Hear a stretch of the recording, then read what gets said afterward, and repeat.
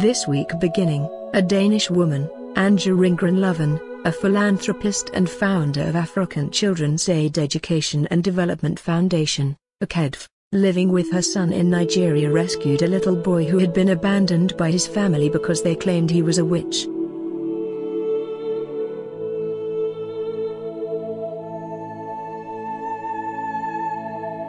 She took him into her care, fed him, gave him clothes and he is currently receiving some medical attention. This was what she shared on her Facebook page.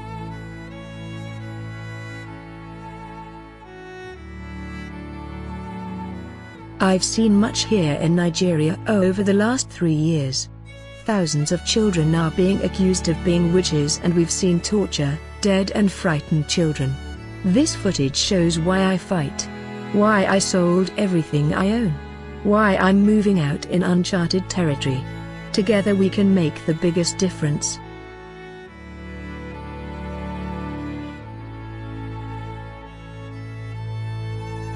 I have chosen to call the boy Hope for right now, we all hope that he survives.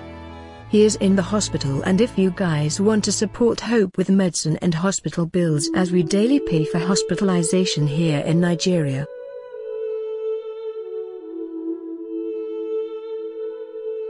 Nobody can do everything, but everyone can do something.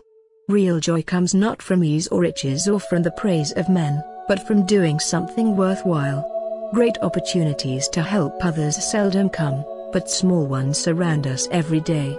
Check out these emotional photos of the Nigerian boy,